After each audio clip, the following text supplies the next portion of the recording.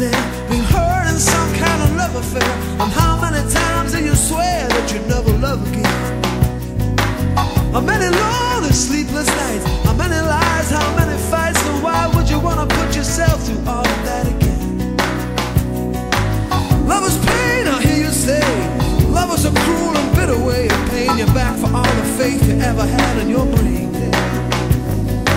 Could it be that what you need the most can leave you feeling just like a ghost? You never wanna feel so sad and lost again. One day you could be looking through an old book in rainy weather. You see a picture of her smiling at you when you were still together.